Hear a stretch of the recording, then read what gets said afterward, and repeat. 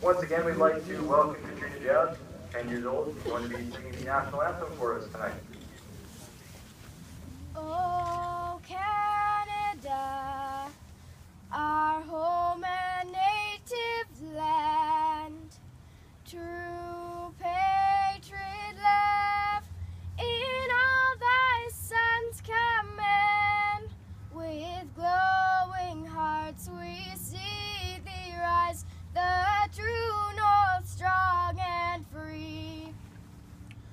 安放。